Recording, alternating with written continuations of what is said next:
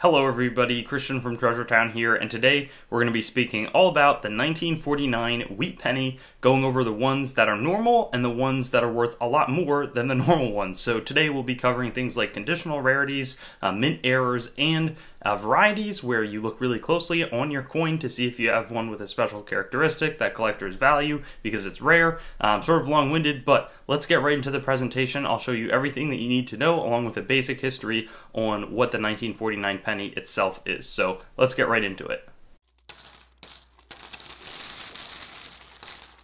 So here we've got the 1949 wheat penny, and there's a little bit of history here. You can pause it if you'd like from the 1909 to 1958 wheat penny design itself. First ever person on a U.S. circulating coin to commemorate Lincoln's 100th birthday, um, and the other interesting thing, 1943, so a few years prior, they had switched to a zinc coated steel planchet uh, to conserve the copper and zinc for the wartime uses, but they had switched back by 1949 in terms of conditional rarity, which is just if it's really, really, uh, and these are all PCGS graded red coins, you want to be getting at least a Mint State 66 with chance for better before you submit, because if you pay 20 or 25 bucks to certify this coin and then it's only mint state 65, you'll already have lost money. So that's just the picture in terms of regular ones.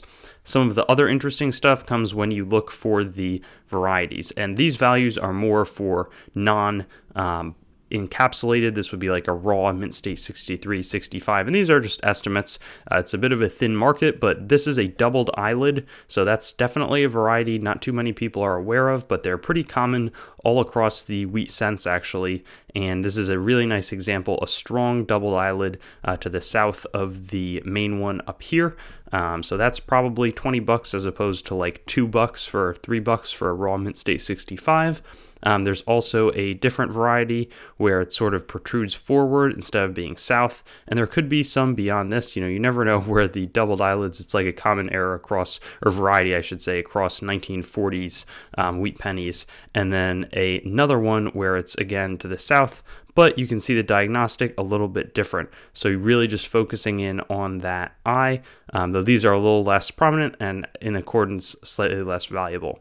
Now, in terms of some of the error coins, this isn't a huge year for errors, and as a result, uh, they're much more valuable. So in this case, we see a really interesting uh, off center. Now, most collectors desire ones where it's 25 to 75% off center, um, but the big thing is having a date because people like to collect by date, whether it's uh, personal sort of relevance or whatever it is, you just know when it comes from as opposed to being a generic wheat cent. So not only do you have this nice sharply struck uh, wheat ear, but you also have the 4-9, so that's identifiable.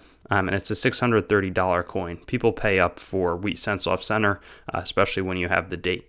Now there's only other one other coin that I could find which was off center and it was also this one. And often there's like a really nice mix of errors, but for whatever reason it's not quite as well known for this 1949 uh, Philadelphia mint date. They were obviously producing at Denver and San Francisco, uh, and they also you know D&S mints. They also had some errors, but for for these ones it's just the off centers. So it's these two both around 500 bucks. So a really interesting uh, group. Nothing major on the varieties, but they are a little more significant and can add a treasure hunt aspect to it. So hope that this uh, teaches you a little bit about these wheat pennies, the ones you might have, and which ones are valuable.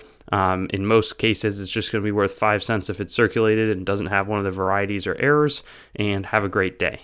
Thanks for watching the video. I'd encourage you to like the video, comment, and make sure to subscribe to my channel. And I also have Facebook, Instagram, Twitter, and some other social media platforms.